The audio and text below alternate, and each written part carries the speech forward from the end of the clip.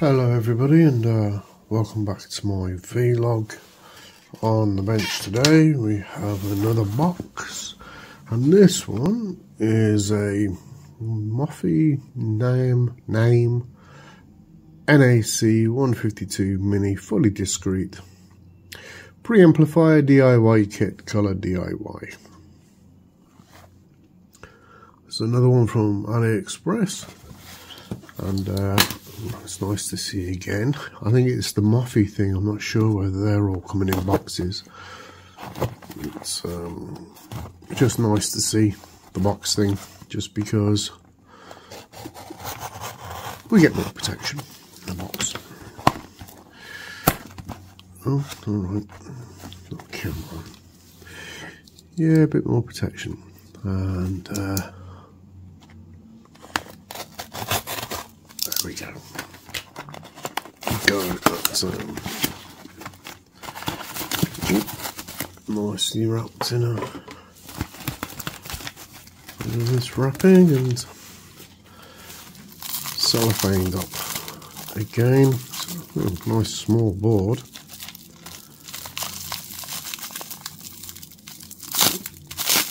I think they're really, really emphasising on ensuring that the kits get there there's nothing missing in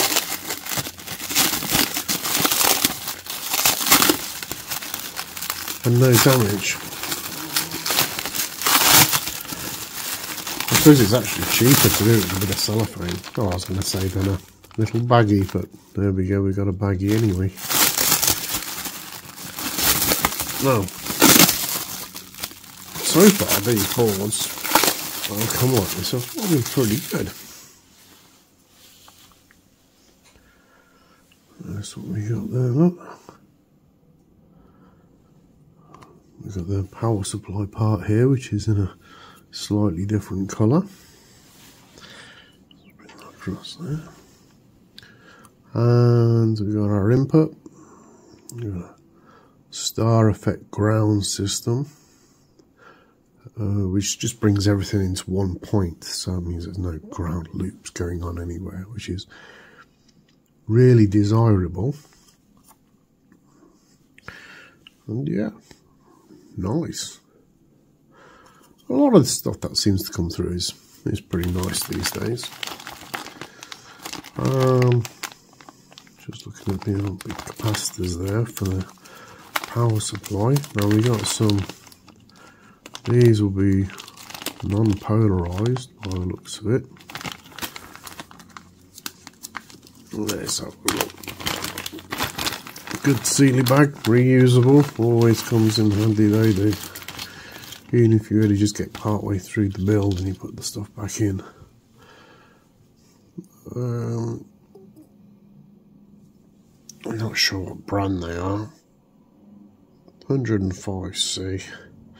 I think they're Korean, actually. I can't make out with it. I need to go to the opticians. I think these are Korean. I don't think it's going to make that much difference, you know. Um, but of course, having nicer ones would be always nice. I think these are supposed to be uh, Muse. So look, Nichicon, look. Muse. These are bipolar, even though that would normally indicate the positive because it's got a longer leg there. Not sure what we're going to get when it comes to the uh, transistors. We've seen in some of the kits, you don't actually get. Oh, what's that? That's a BC550.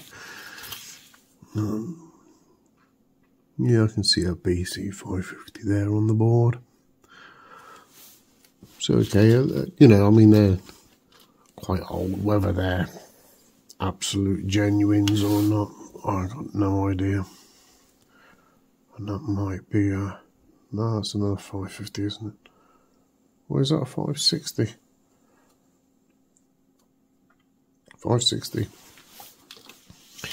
All right, a little, uh, little amber or orange, if you like. Again, positive. You can always tell with the LEDs as well, whereas the, the biggest part is the negative in there.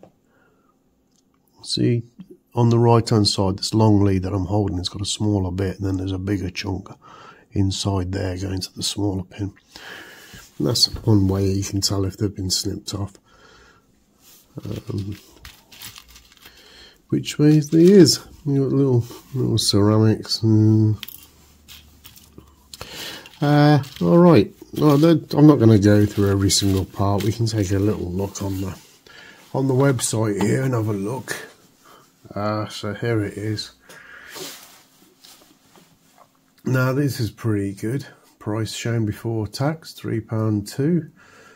Probably about five Australian and three dollars twenty or thirty American. Two-stage buck regulator filter featuring a two-stage buck regulator filter filter the power noise from entering the amplifier. DIY kit finished board. Soft start feature incorporates a voltage soft start feature that takes three seconds to reach the designed voltage. Really? Single point grounding, yep, lovely. And uh, yeah, so there it is built up. It's quite nice. Looks like we've actually got, you know, the same as what it shows in the kit. We've got these Muse here and these other brown ones. Uh, yeah. So bridge rectifier. Uh, the input, so we don't get an input thing. Oh, I noticed there it's only two. So we've not got a negative, positive, negative. This is going to be directly from a... No, that can't be right because there's a bridge rectifier.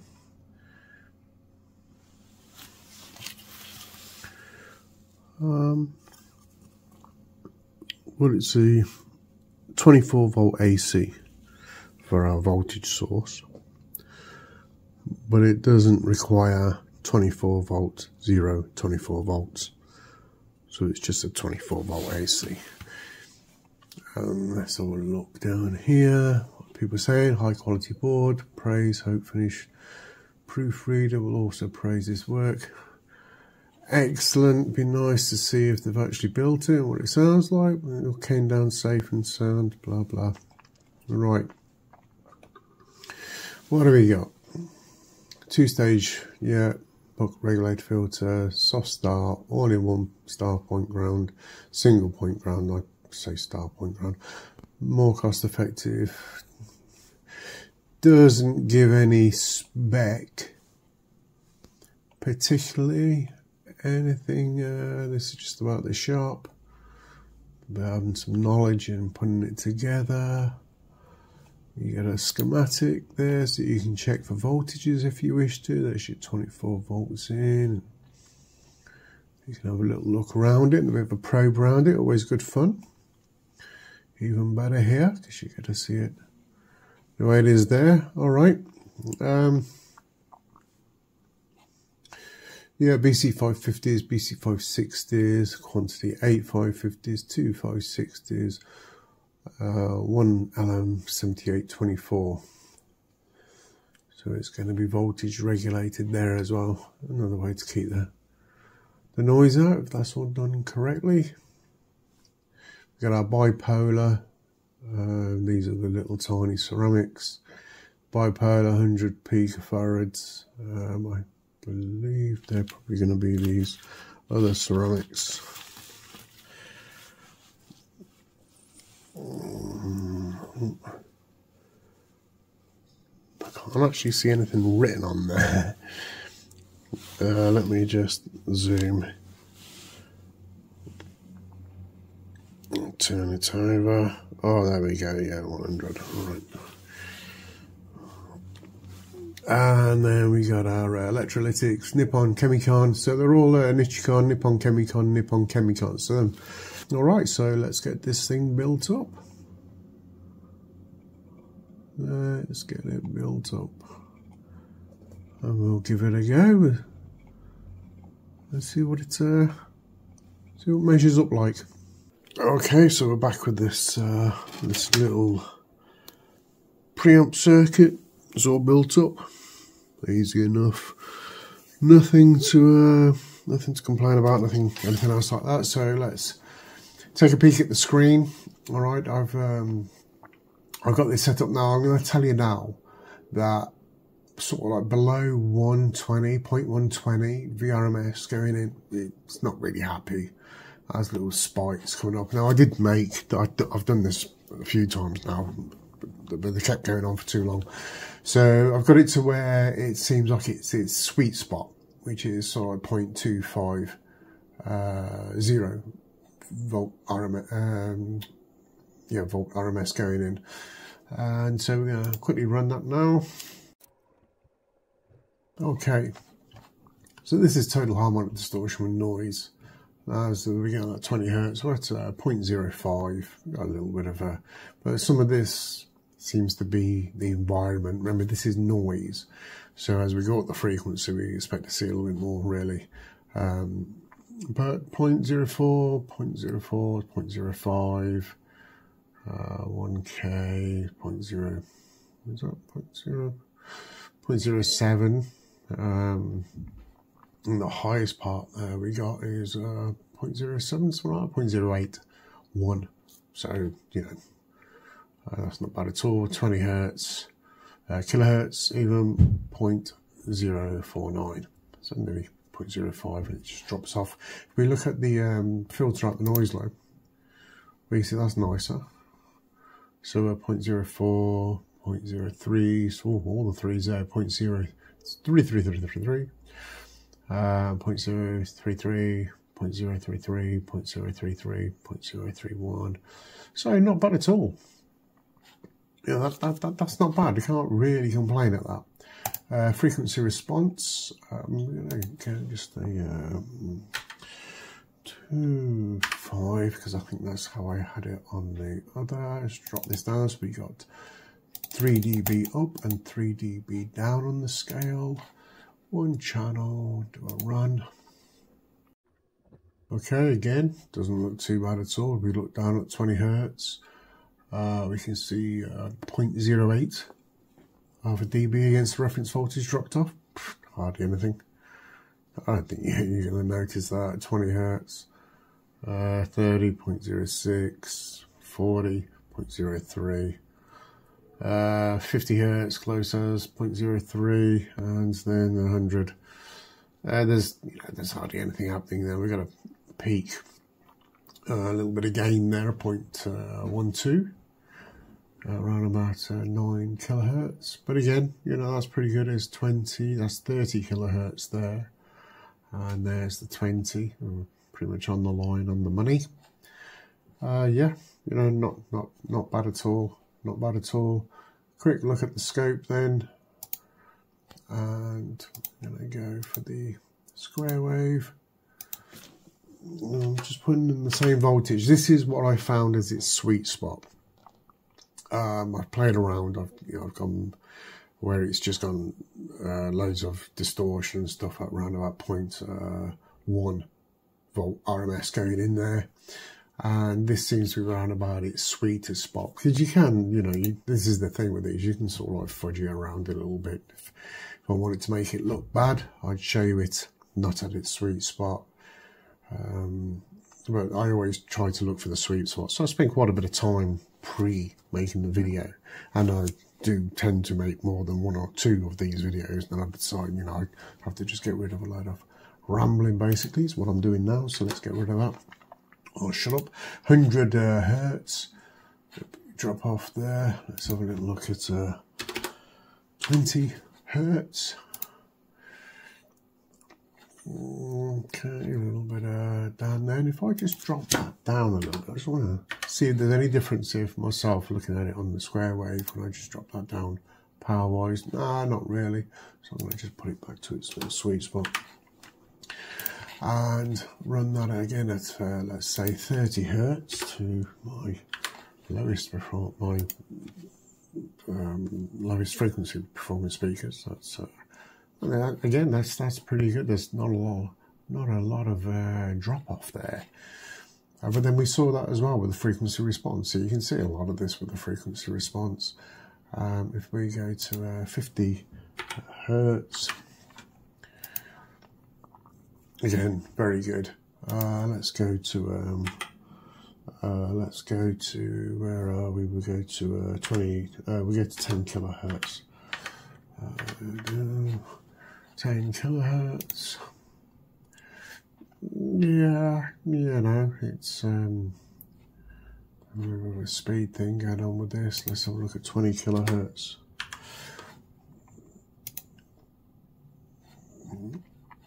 Not a lot difference between the 10 and 20.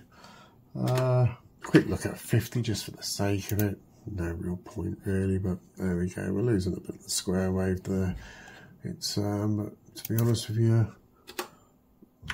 hardly any energy up this end. You're not going to hear it, you're not going to notice it really. It's all well and good if these things can perform out to whatever frequency, but if it's going to make absolutely no difference to your listening pleasure, it makes no difference Uh, all right, a little look at the spectrum analyzer. So we'll just take a peek at the noise, uh, the way it is. Uh, we're just shoving some. Uh, look at that, that's not bad. That's quite nice and low. We'll take a peek at that with um, some test tone enabled. There we go, we've got a two kilohertz, three, four, five, a little high there, what we got there. Uh, minus, that's still, that's even, yeah, minus 73.8 dB at five kilohertz. The rest it sort of rolls off. Um, it's not bad at all. It's not bad at all from what it shows as an out as a response. Um, it, it's it's not bad. I've got another one. I did. Um, I said to a viewer that left the comment about um, setting up the um, AD3, uh, AD2, sorry, and uh, bits and pieces. I've made up some some wires, and I'll go over them more on the next video. And um, because this one is, uh, you know, I was like partway through this, and and that's that. So, but on the next video, yeah, we'll we'll do that. We'll go over some extra measurements as well, just to see what it's like. But just for this now, yeah, so what's it like? It's easy enough to build, it's cheap enough, and um, it seems to be okay. And it only needs, it doesn't need like uh, it needs 24 volt AC. It doesn't need 24 volts zero and 24 volts. So that could be easier for some people uh, to give it the 24 volts AC. And um, yeah, all right, that's it.